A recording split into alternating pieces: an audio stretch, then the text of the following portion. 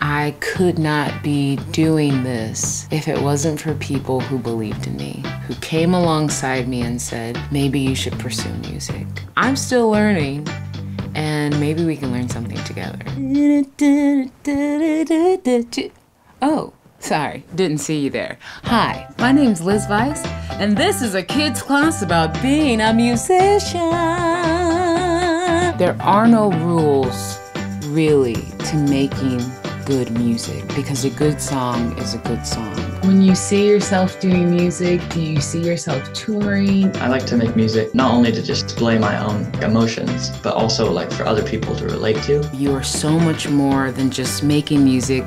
You're a brother, you're a sister, you're a best friend. You are you, and that's who we want to see. We're gonna peel back the curtain so you can have a little insight into what it's like being a musician.